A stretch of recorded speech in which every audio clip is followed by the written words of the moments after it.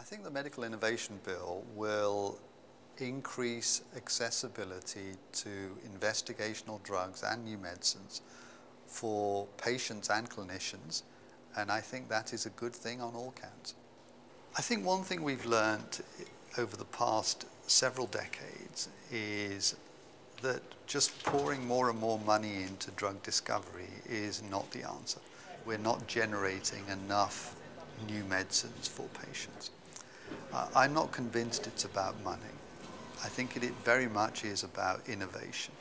We need innovation in terms of targets that we work on, innovation in terms of how we deliver those reagents to patients. We need innovation in terms of how we discover drugs. We need innovation in terms of how we work together to discover those drugs. I think the whole system needs completely transforming.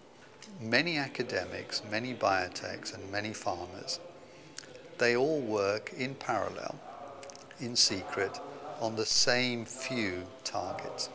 So the system currently is wasting a lot of resource, it's wasting a lot of people's careers, but it's also wasting a lot of patients. So what the Structural Genomics Consortium does is that we only work on novel human proteins. And for those proteins, what we do is we generate the purified protein. We also develop assays for those proteins. We generate small molecule inhibitors for those proteins. And of course, these are starting points for drug discovery. Now, what's unique about us is that all of these reagents that we generate, all of these early tools for drug discovery, we make them freely available.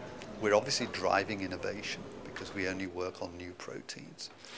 We're crowdsourcing science. You know, we're getting 400 labs all over the world to use their expertise and resources to use this molecule that we've generated to profile biology, etc.